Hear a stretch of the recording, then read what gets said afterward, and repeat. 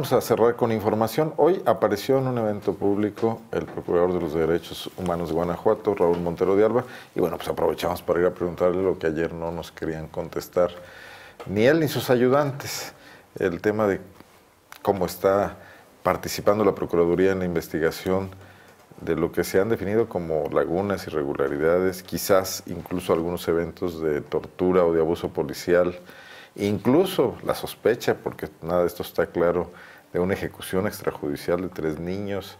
Eh, también hay serias dudas sobre el tema de que los policías pudieron haber tenido un papel en esto por un señalamiento de la madre de los niños. Bueno, todo esto hace fundamental la participación de los derechos humanos, pero adicionalmente cómo se ha venido dando el proceso y algunos comentarios que en un evento con una gran exposición pública pues ha hecho el Procurador de Justicia Carlos Amarripe, que ha sido entrevistado N veces por diversos medios de comunicación y que de repente, bueno, pues hablando ahí se le salen algunas cosas que despiertan nuestra inquietud, que son detalles. Es una investigación tan delicada que todos los detalles importan.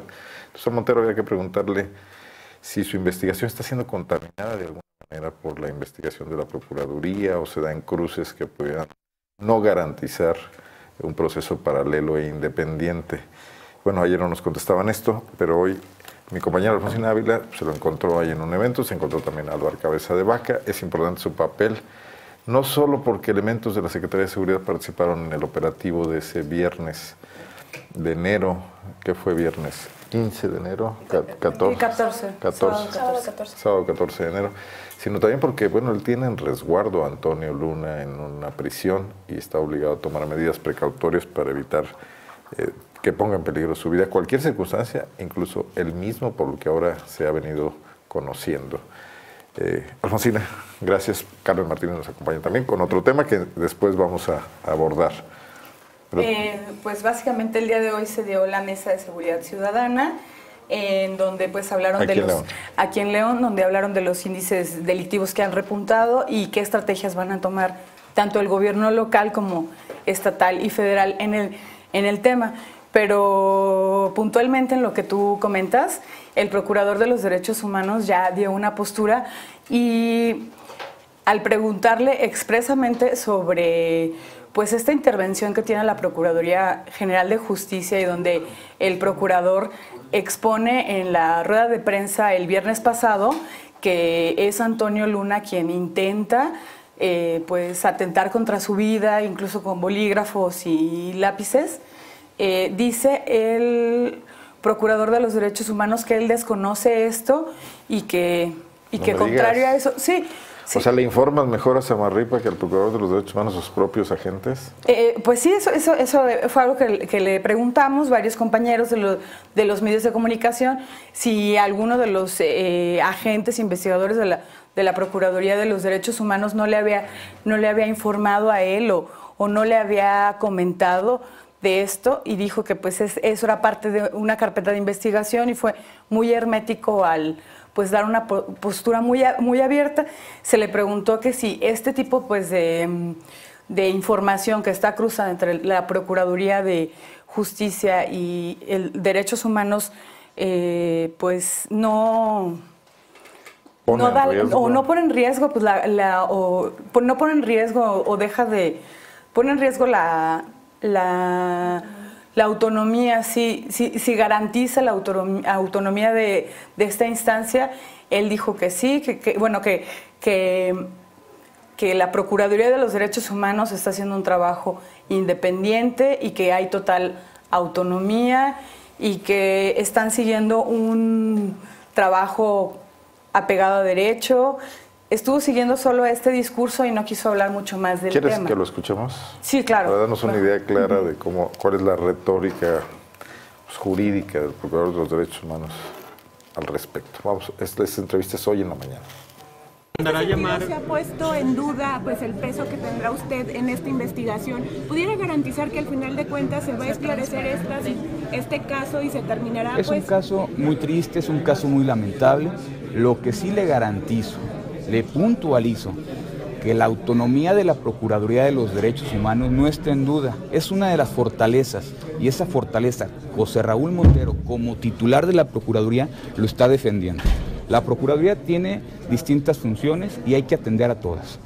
El, señor se trató de lastimar. ¿Cómo es que el procurador de justicia tiene esa información que ustedes antes no habían vertido? Lo desconozco, es una información que no sé el motivo. En este caso, estaremos analizando serán parte de las líneas de resolución de la Procuraduría. Pero ¿cómo es que investigadores de la Procuraduría de los Derechos Humanos eh, eh, testifican? Él dice que testifican incluso cuando... El trabajo que realiza la Procuraduría de los Derechos Humanos es un trabajo muy muy profesional en el sentido de agotar todas las líneas de investigación. En este caso nos tenemos que hacernos llegar una investigación de circunstancia, tiempo y modo de aquellas personas que intervinieron. Nosotros ya nos hemos entrevistado y como hemos informado a ustedes, nos hemos entrevistado con familiares, con la madre, con el padre de los menores, hemos estado atendiendo. Es parte de la investigación que tenemos. ¿Parte de la Procuraduría se emitirá alguna recomendación al propio procurador para que tome mesura en sus declaraciones? Es parte, de, es parte de la investigación que estamos agotando, es parte de una investigación y es parte de una línea de investigación. Y esperemos en, en la brevedad tener una resolución. ¿Cómo, ¿Cómo la Procuraduría de los Derechos Humanos puede garantizar la, la autonomía teniendo estas, estas declaraciones del procurador, que es otra instancia de Son circunstancias distintas. Lo que yo le garantizo como titular de la Procuraduría, que la autonomía no está en juego, la autonomía estamos, es una de las fortalezas y estamos apostando ya con ella, en nuestro actuar y en nuestras resoluciones. Ahorita parte de ello es un momento de investigación y habrá el momento de pronunciarnos. O sea, hasta el momento no tienen un pronunciamiento sobre este tipo de El pronunciamiento es lo que les he compartido a ustedes mediante las acciones que hemos emprendido desde la Procuraduría de los Derechos Humanos y al final de la investigación tenemos los resultados de la misma. Bueno, se refugia mucho en el tema de que está realizando una investigación. Realmente nadie le pregunta por la investigación, Alfonsina, pues esa sabemos que tenemos que esperar y que tiene que tomarse su tiempo. El tema es algo que surgió en la conferencia de prensa del viernes pasado, no es un tema que los medios hayan puesto sobre la mesa, es un tema que el Procurador de Justicia puso sobre la mesa.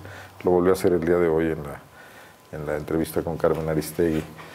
Porque el Procurador está tan enterado de lo que pasa en investigación de derechos humanos, si estas reuniones deben ser absolutamente confidenciales entre, en este caso, Antonio Luna o en su momento otros, otros, eh, otros sujetos de esta investigación y el personal de derechos humanos, en ausencia hasta de custodios de, la Secretaría de Seguridad Pública.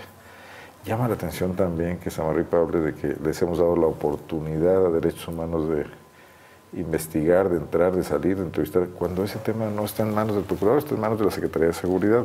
Yo he dicho muchas veces, me preocupa esta simbiosis Secretaría de Seguridad, Procuraduría de Justicia, donde ellos mismos parecen no saber dónde termina una y dónde empieza la otra, ¿no?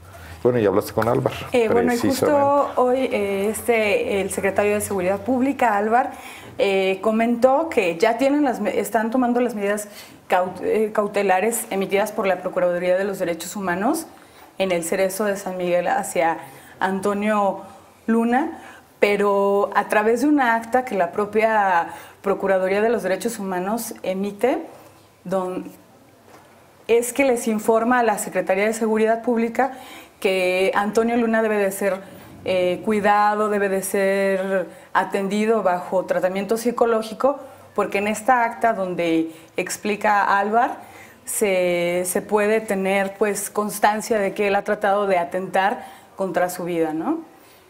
Escuchamos sí, podríamos escuchar el, Cabeza de Vaca. toda la información que ha solicitado la Procuraduría de los Derechos Humanos tanto en información como en la aplicación de medidas precautorias con el inculpado, se han estado atendiendo de manera muy, muy puntual.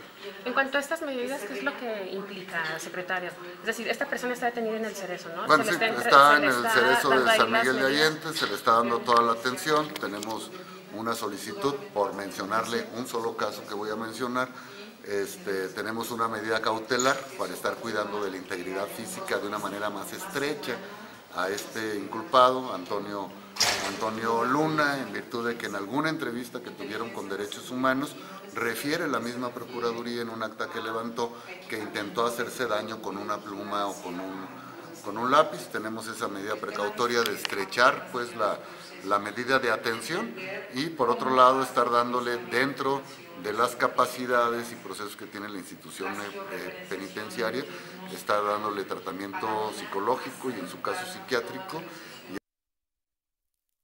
Bueno, muy bien. Alfonsina, ¿con qué impresión te quedas de todo esto? Pues hay pues una mezcolanza como de las eh, facultades y funciones que tiene las instancias aquí en, Guanajuato, sobre todo en la actuación de la Procuraduría de los Derechos Humanos, porque pues eh, su titular eh, titubea demasiado, eh, se limita mucho en, resguardarse bajo la ley y decir que... Bajo un discurso legalista, digamos. Así es, y decirle a todos los medios que habría que revisar y esperar a que se tenga ya esta carpeta integrada para que ellos puedan emitir una, pues una respuesta y contradictoriamente los titulares de seguridad pública en el estado, tanto Álvar y el procurador, pues dan información diferente, ¿no? ¿Y en la mesa qué pasó? Eh, el año 2016 superó los mil homicidios, eh, la cifra está escalando notablemente. ¿Hubo alguna consideración sobre esto? Bueno, y eh, se me omití de dar un dato muy interesante. El, el coordinador de la Policía Federal, que es Miguel Ángel Cimental. Ah, es cierto, esto es eh, muy relevante. Sí, comentó, bueno, le, le, preguntamos a varios compañeros de los medios que cómo fue el actuar de la Policía Federal en el caso de San Miguel de Allende. Él dijo que se enteró a través de un, de un mando en esa región de que se estaba dando una balacera, un tiroteo, por lo que pues ya después atendieron un llamado del C5, entonces eh, el, comandante Cimental precisa mucho que ellos tuvieron, atendieron este reporte, pero había mucho hermetismo en la información de, lo que estaba ocurriendo ese, ese sábado 14 de, enero, por lo que ellos nada más a, acordonaron una parte de, la carretera federal y apoyaron ahí a la, la Dolores San Miguel Allende. Sí, así es. una vía federal. Bueno, que uno nunca sabe cuáles son federales, cuáles son estatales. Pero es por eso estaban ahí atentos al tema. Sí, podríamos escucharlo también para, para tener más información. Es el comandante destacado en Guanajuato de la, de la Policía Federal, Miguel Ángel Cimental. Sí se les comentó que era un grupo delictivo el que trataban de eh, como atacar, eh, detener. no, ese día hubo mucho hermetismo, no, no, los compañeros únicamente escuchaban las detonaciones y el C5 no tenía información, no tenía información verídica sobre los hechos, no es que había un enfrentamiento en ese lugar. Y hasta el momento es la única información que ustedes como instancia sí, es correcto. federal tienen. Sí, es, hasta el momento sí, la, no, todo lo que dicen los periódicos o que dicen las notas, no, ya eso ya no es, no es una cosa verídica para nosotros como institución. O sea, el, reporte no es todavía no es claro del C5. No, no. Es que quien trae la, en este caso la, investigación de la Procuraduría del, de la, Procuraduría del Estado. Bueno, pues ¿y la coordinación dónde está? La presumida y tan ostentosa en el discurso coordinación de todas las eh, corporaciones aquí no apareció. El C5I, programa escudo, etcétera, que permite que rápidamente todo el mundo reaccione. Aquí no apareció. Me, quedo con esa frase de Cimental, hermetismo de la Procuraduría de Justicia. Quedaron fuera los, las autoridades federales del tema. Sí, parece que eh, en el tema de seguridad no hay tanta coordinación. Bueno, ya se había vertido esto, pero pues con este tipo de acciones y declaraciones pues se hace fehaciente que no existe tal coordinación, ¿no? Esa una gran pregunta. ¿Qué pasó con el grupo armado? ¿Qué clase de grupo armado es? ¿Son, delincuentes? ¿Son guerrilleros? Este, ¿qué, tipo de inteligencia hay en torno al tema? y de eso no se nos ha dicho nada y también es fuerte. Imagínense, San Miguel Allende es la principal ciudad turística de Guanajuato. El tema que ha interesado tanto a medios nacionales es por eso. San Miguel Allende es un la caja de resonancia. La comunidad norteamericana más importante del centro de México se encuentra ahí y ocurre que hay un grupo armado y un tiroteo y nadie sabe nada menos las autoridades federales. ¿no? Así es. Así es. Bueno, parece que ya tuve problemas con el micrófono. ¿Se escuchó lo que dije o no? ¿Sí? Sí. Ah, bueno. Vamos a otro tema. Eh, ahora, gracias, Alfonsina.